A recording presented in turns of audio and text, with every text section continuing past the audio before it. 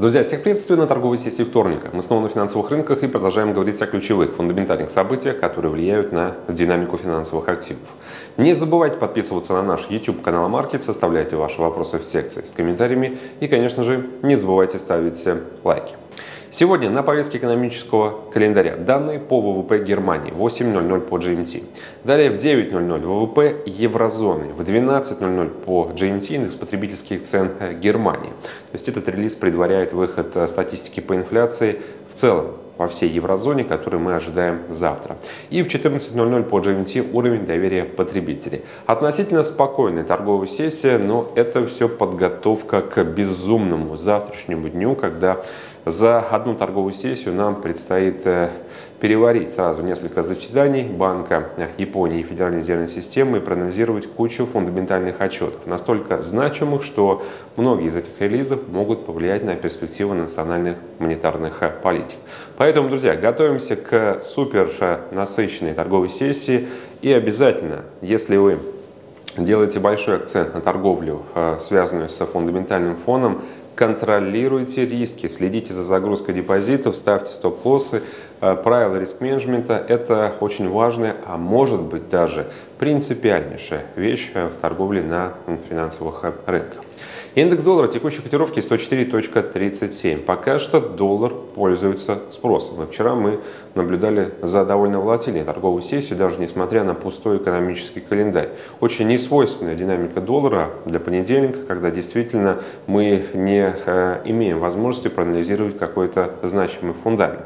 Рынок э, пытается все-таки понять, на что же сейчас лучше делать акцент, на политику, связанную с потенциальной победой Трампа, и как следствие это то, что может создать хорошие условия для роста американского доллара, либо на экономику, то есть тоже на политику, но в монетарном ключе, на действия Федрезерва, смягчение экономической политики, то, как много будет подобных решений до конца этого года, на что будет ФРС делать наибольший акцент и какая проблема останется настоящей головной болью. Мы, собственно, анализом монетарной политики занимаемся постоянно. Я надеюсь, то, что не нужно сейчас подсвечивать то, что ФРС в одном шаге от того, чтобы смягчить эту монетарную политику. Это точно произойдет в сентябре. Но вот вопрос, будут ли сюрпризы, например, в ходе июльского заседания, то есть завтра, либо еще э, сюрпризы, связанные с несколькими снижениями ставки после сентябрьского заседания. Это э, правильные вопросы, которые, по сути, определят долгосрочную тенденцию американского доллара,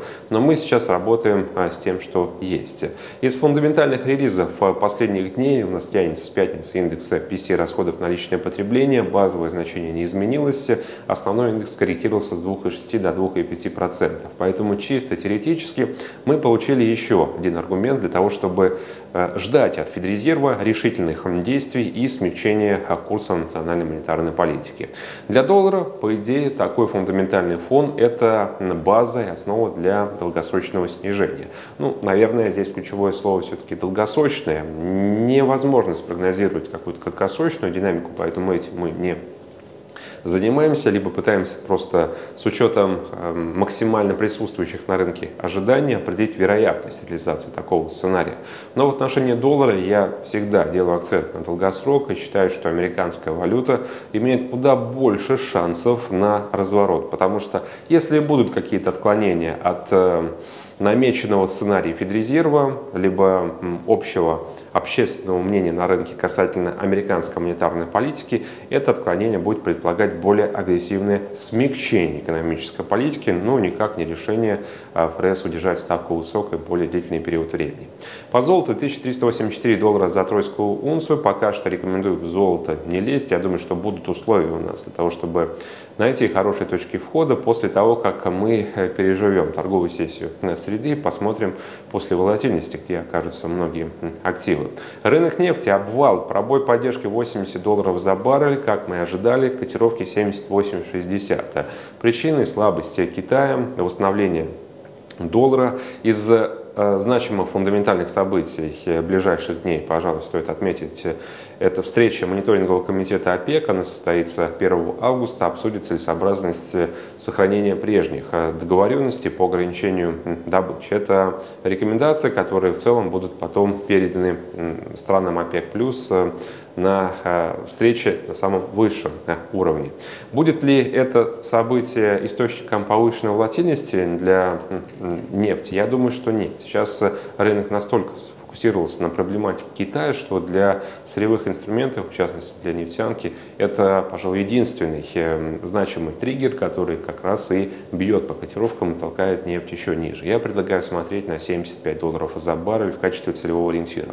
Доллар канадец 1.3850 – идеальные условия для роста этого дуэта финансовых активов. Про монетарную политику канадского регулятора мы уже много говорили, готовимся к еще одному снижению ставки. Параллельно пока поглядываем за тем, как доллар воспрял духом на безновостном а, а, фоне и на фоне э, снижения котировок нефти, то есть Канада, нефть, это связанные между собой э, скажем так, э, э, слова и экономические термины, и понятно то, что насколько нефть значима для канадской экономики, поэтому тенденция снижения э, и распродаж на рынке черного золота всегда провоцирует давление на канадский, канадскую валюту.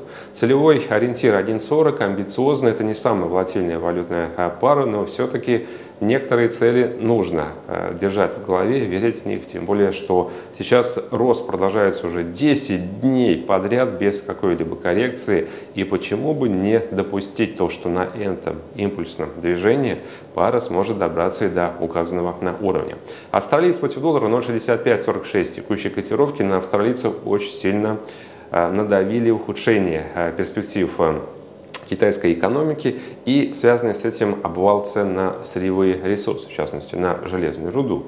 Австралийская экономика обеспечивает чуть ли не 50% мирового спроса на железную руду. И здесь тоже, чем хуже обстоят дела в Китае, тем ниже спрос, чем ниже спрос, тем, соответственно, больше причин для снижения стоимости на железную руду и больше оснований для ухудшения показателей торгового баланса между такими извечными торговыми партнерами, как Китай и Австралия.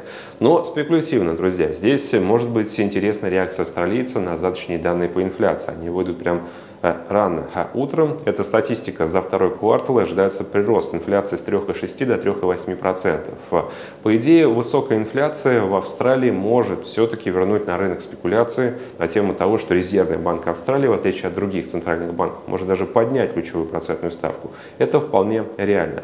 Поэтому в качестве спекулятивной сделки я предлагаю сейчас присмотреться к лонговым позициям с целевым ориентиром 0,6650, 0,67. Доллар иена 154.10. Мы ждем заседания Банка Японии завтра. На фоне последнего отчета по инфляции в Токио был зафиксирован э, рост основного индекса потребительских цен, даже базовый инфляция, прошу прощения, с 2,1 до 2,2%. Причем рост э, продолжается уже 3 месяца подряд. Это создает условия для того, чтобы Банк Японии рассмотрел хотя бы возможность для ужесточения монетарной политики. И все это конечно же, жесткая риторика, с которой мы будем работать завтра. Я надеюсь, то, что этого будет достаточно рынку, чтобы развить дальнейшее медвежье ралли и отправить пару доллар-иена ближе к уровню 150 йен за 1 американский доллар. И что касается рынка криптовалют, биткоин 66 500 откатили мы после тестирования психологической планки 70 тысяч, пока что не решаются покупатели прорваться выше, но фундамент, как я говорил, пока располагающий тому, чтобы мы все-таки верили в продолжение бычьего ралли. Самый главный новостной фон это выступление Трампа потенциально будущего президента США в Нэшвилле и несколько очень важных тезисов-обещаний, которые он дал криптовалютному сообществу. Это намерение превратить США в биткоин сверхдержаву, это планы создать национальные запасы по биткоинам, держать их в неопределенное время и ни в коем случае не реализовывать, то уволить главу американской комиссии по ценным бумагам Гэри Генслера и свернуть все инициативы, которые предполагают создание цифровой валюты Центрального банка. Я надеюсь, то, что Трамп не откажется от этих инициатив, когда придет его время. И, друзья, сейчас нужно просто ждать и готовиться к тому, что, скорее всего, очередная волна и э, еще одно э, ралли предстоящее бычье ралли практически неизбежны. Для биткоина это цели выше 70 тысяч, то есть к чему может привести по эфириуму. Мы также говорили, ждем движения выше 3500 и ближе к э, сопротивлению психологической планки 4000. На этом, собственно, все. Большое спасибо за внимание и хорошей торговой сессии. Всем пока!